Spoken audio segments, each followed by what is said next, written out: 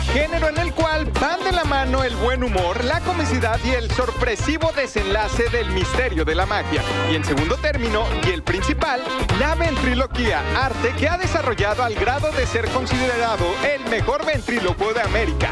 Con ustedes en Es en Serio, Edmundo Miller.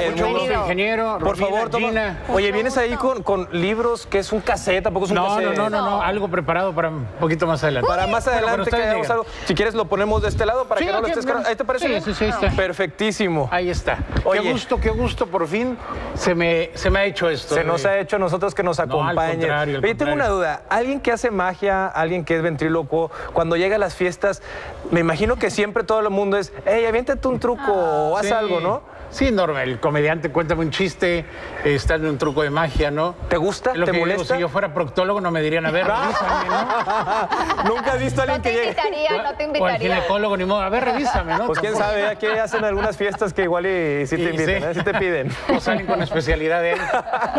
Puede ser. Hijo del gran Paco Miller. Sí, sí, sí. eh, pues ya la, la gente que recuerda a mi papá es gente mayor ya ahorita de los cuarenta y tantos, cincuenta hacia arriba, ¿no? La, la época fuerte de mi papá fue en los años 40 a los 80 aquí en México. Estuvo, él nace en, en Ecuador. Sí. ¿Cuándo se viene a vivir a la Ciudad de México? Él nace en Guayaquil, Ecuador, en 1908 y él llega a México en 1940 siendo ya reconocido, siendo ya estrella en Sudamérica. Llega aquí, eh, su, su hermano, que era su manager, era embajador de, de Ecuador en México. Entonces es el que eh, gestiona todo para poder hacer su ingreso a México y comienza con, con el pie derecho aquí. Eh, Con el pie derecho y maravillosamente, porque aquí Gracias. hizo un gran nombre. Sí, como ventríloco, como empresario.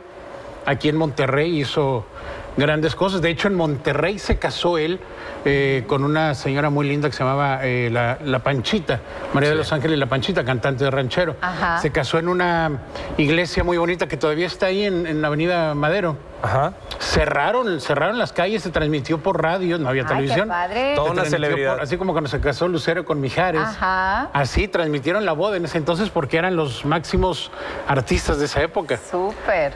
Me encanta, me encanta tu, tu profesión. Me imagino que creciste viendo, bueno, no me imagino, estoy segura que creciste viendo a tu papá. Para eso se estudia, imitas lo que hace tu papá. ¿Cómo se hace para ser un gran ventríloco? ¿O es por herencia? Es todo, es todo, es, eh, es herencia, es imitación, es gusto. No sé si el gusto se va dando conforme se va viendo, eh, pero es, es todo, es un conjunto de, de factores que se van dando para, para hacer, para hacer este, lo mismo que el papá. Que no necesariamente el hijo del médico va a ser doctor también. Exacto. No, Claro. pero sí, eh, hay, hay muchos que son hijos de y, y no, Y no lo traen. no lo traen. No lo Simplemente traen no o se ven forzados al hacerlo, ¿no? Tu papá incluso llegó a trabajar con Walt Disney. Exactamente, él es que fue, fue empresario, él fue el, fue el que bautizó a Tintán, siempre que se habla de Tintán se habla de mi papá, fue quien lo descubrió, lo bautizó. ¿En serio? Sí, y en maravilla. 1943 eh, lo manda a llamar Walt Disney para hacer la voz de Pancho Pistolas en la película Los Tres Caballeros. Ajá. Ahí está la, la foto. Ve, qué maravilla. La versión en inglés, la voz es de mi papá, ¿En de-? Pancho Pistolas. Oye, o sea, Sí. tu papá le hacía todo. Sí, en Sí. inglés además. Imagínate. En inglés. Oye, entonces tú empiezas a agarrar estas habilidades, le dices a tu papá, enséñame, o simplemente lo empiezas a hacer, a imitar tú con tus muñecos. Yo soy el último, y viene un poquito a colación con la pregunta que me hicieron, soy el último de sus hijos. Tengo 11 medios hermanos y soy el último de sus hijos y el único que se dedicó a esto. Todos los demás, no. Nada. Nada del medio artístico ninguno. Nada. Tengo un hermano que es dibujante en Disney. Él- Ok. él aparece en los créditos de varias películas como, como dibujante, pero el único que incursionó en, en el ambiente fui yo. ¿Estudiaste algo aparte?